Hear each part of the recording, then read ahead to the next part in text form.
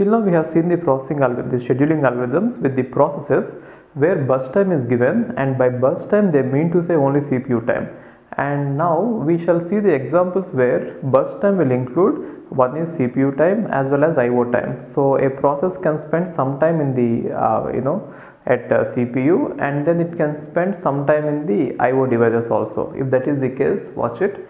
Uh, so a process can have you know three types of times i mean two types of times. One is burst time during which it requires the cpu to finish and other is io time which during which it requires io devices. Therefore from cpu it will get out to the io devices and it will spend some time there and again it will come back right? And then finally burst time. Now uh, we want to schedule these uh, processes in such a way that see this and one more thing this order has to be in the same way which means a process will be in the cpu for 3 units and then IO for 2 units and then CPU for 2 units right and um, the algorithm we are following is shortest remaining time first. So what is the uh, shortest remaining time first? We are going to see the one which is having the least uh, burst time and schedule it first and so and later if any any process arrives with least burst time we will schedule it you know by preempting the first one the earlier one right the present one. Now in this you need not count IO burst time at all. Without counting it you can count these two as burst times right.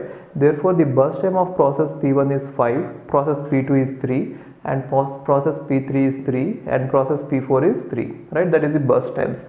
5 3 3 3 right?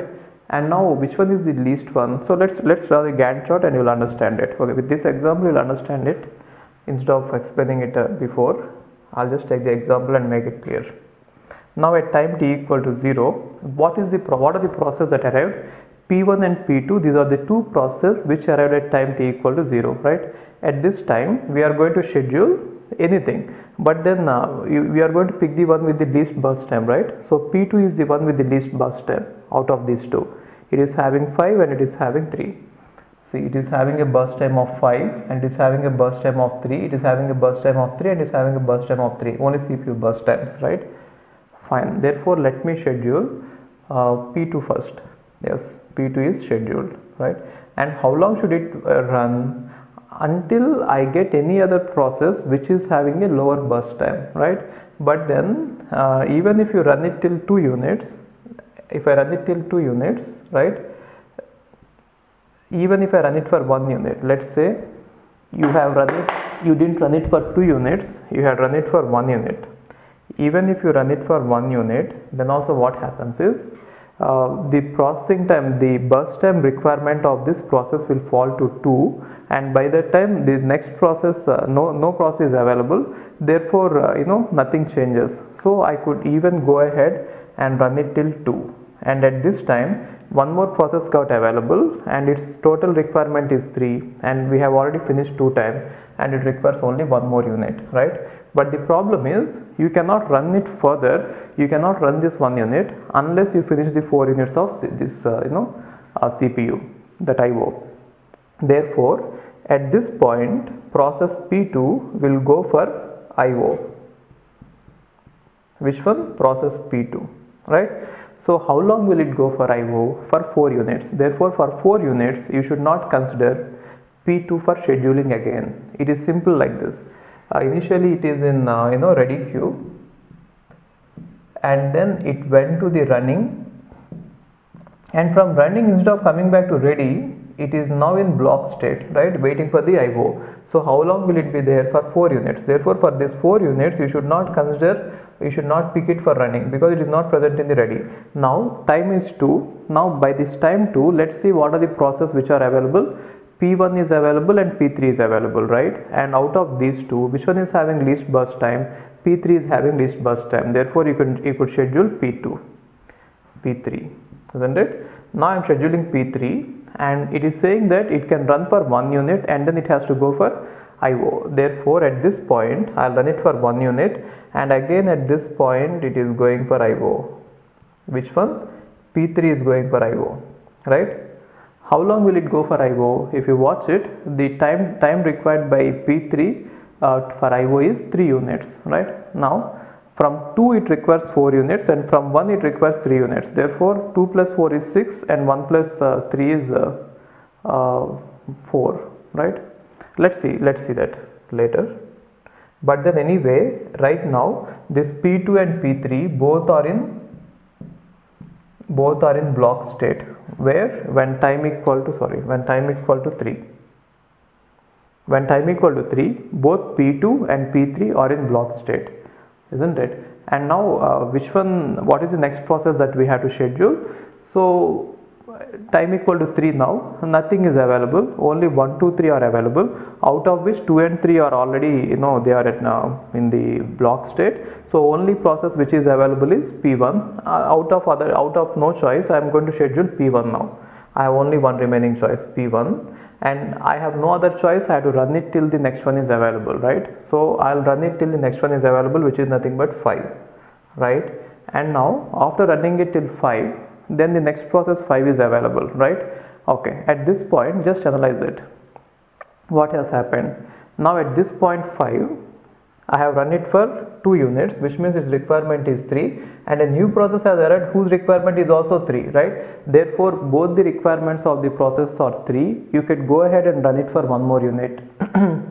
So I am running P1 for one more unit which means till 6 so P1 is has now run for uh, totally 3 units. 3 to 6 is 3 units and at this point P1 has to go for IO. So let's see what has happened to P2. See P2 got uh, P2 has gone for IO at time t equal to 2 and now time t equal to 6 has happened.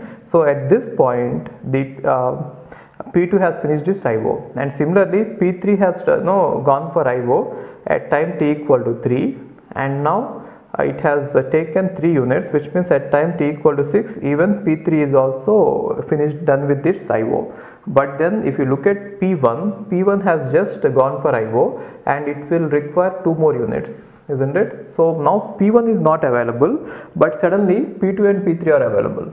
P2 is available, P3 is available and then P4 is also available because time is now 6 o'clock, 6, uh, 6 units, right? And then P1 is only the one which is in the blocking state. So you don't consider P1 and you just see what are the remaining ones and among them which one to schedule. Just watch it. P2 has already finished 2 units, right?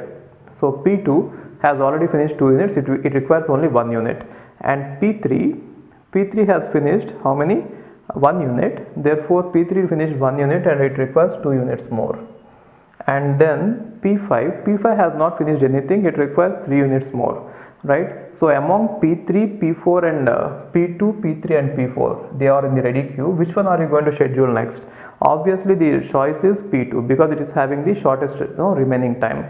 So I'm going to schedule P2 here, P2 here and it will run for only one unit which means till 7 and it will be over, right? Therefore P2 is over at this point, fine and now P2 is not there. In the ready queue it is over. It, it has gone to the termination. And now I have P3 and P4 what happened to P1 here? See this? How long does P1 want to do the IO it wants to do it for 2 units right?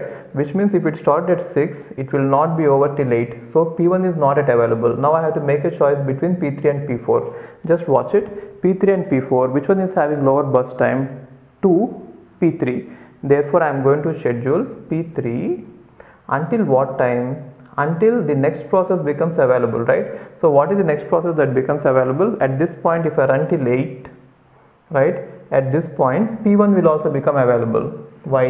P1 has gone for IO only for 2 units and it started at 6 by 8 it must be available in the ready queue. Therefore now P1 is available and now uh, we have run this P3 for 1 unit. Therefore remaining time for P3 is 1 and now the total number of total process available is P1, P3 and P4. Now among P1, P3 and P4 the requirements are like this. P1 requires 3 units isn't it? Why? Because P1 has run only for 2 units, uh, 3 units. I think P1 requires only 2 units right? See this? Here P1 has run for 2 units and then one more unit. Therefore P1 requires only 2 units. Fine. Now watch it. Among this P1, P3 and P4 P1, P3 and P4, right? Which one is having the lower time? P1, P3 and P4, it is P3. Therefore, you have to again schedule P3 itself, which means P3 will keep running for one more unit, which is 9, right? And at this point, P1 is over, right? P1 completed. then what are the two process remaining one process remaining is uh, hmm, p1 and other process remaining is p4 and among these two processes which one do you want to schedule? P1 requires only two units therefore p1 is obviously the candidate. Now p1 will be scheduled for how much? 2 2 units of time. Therefore it is going to run till 11 and it is going to be completed. And finally we are going to schedule the p4 till now p4 never got scheduled right? So finally p4 will get the chance to run. Therefore p4 can run completely and how can it run is see this. P4 is scheduled at what time? Hmm, at uh, where yeah. P4 needs 2 units of time burst time. Therefore till 13 it can run. And after that in what happens is it will go for IO therefore there is no no process currently to run.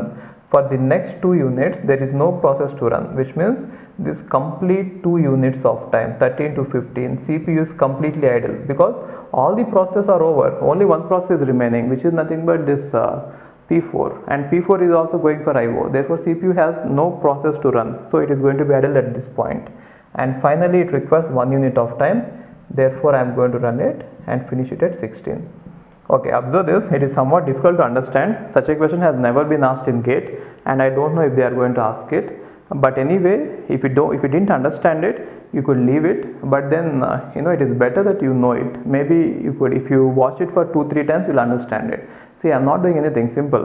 Uh, i'm just using the parameters and then uh, uh, it is ordinary like just like shortest remaining time first but i have to keep track of when is a process going for io and when is it going to come back Therefore, you have to move the process between block state and the ready state and the running state. Earlier, it was just moving them between the ready state and running state. It was easy. But now we have to keep track of three states. That is why it might look difficult. So, mm, maybe, okay, I'll, I'll solve more examples. Uh, with that, you'll be able to understand it. But then you practice this until you can't get it wrong. Okay.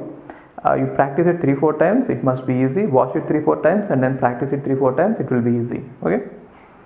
Hmm. So finally P4 got so finally P4 got over at 16 right. So interesting questions about it will be what are the um, this uh, what can I say completion times. So asking about turnaround time and then waiting time is going to be bit tricky and uh, somewhat difficult. So let's talk only about the completion time. So already we have we have done a complex computation here. So let's talk about completion time. What is the completion time for P1? P1 got completed at 11 and what about P2? P2 got completed at 7 and P3 got completed at 9 and P4 got completed at uh, 16. These are the completion times, right? And if you are looking at how to find out the turnaround time, okay, turnaround time is fine. Completion time minus uh, you know arrival time. So turnaround time for the first one is 11, for the second one is 7, for the third one is 7 and for this one is uh, hmm, I think 11, right? Turnaround time is fine. Then what about the waiting time? It is tricky. In the sense waiting time previously was turnaround time and burst time, right?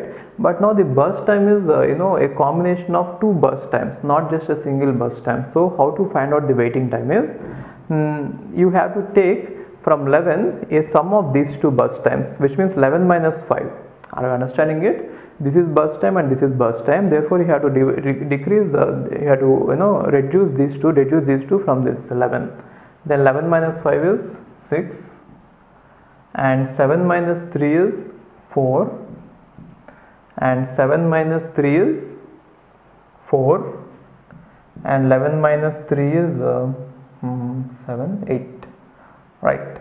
So uh, if you under if you are understanding this i am not going to include this one in the computation of in the subtraction because uh, this time is also actually waiting time. So therefore this one has also also reflect there. That is why i am just deleting if you are if you are observing it. Uh, that's why i was just uh, trying to delete only the time spent at the cpu and everything else is waiting time. Either it is waiting for io or it is waiting in the ready queue. Everything is, is combinedly called as waiting time right? And you can find out average turnaround time and average waiting time.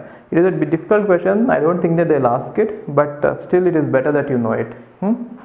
fine